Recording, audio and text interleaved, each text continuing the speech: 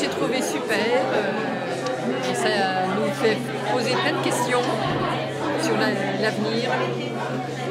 Je vois du, du vocabulaire euh, autour du, autour du magique, mirifique, tellement c'est merveilleux. J'ai trouvé super beau et en plus euh, je trouve ça fin.